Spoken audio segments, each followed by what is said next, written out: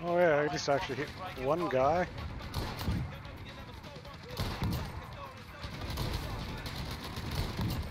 Yeah, leave me alone up here, this is great.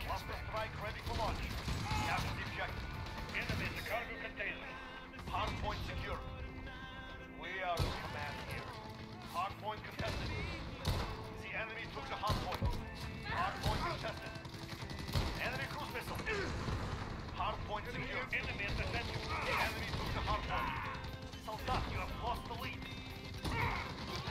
I'm gonna run out of ammo before I can before I get picked off from up here at this rate.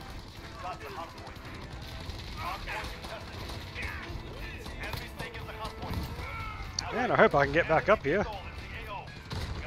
Tell you what. Yeah.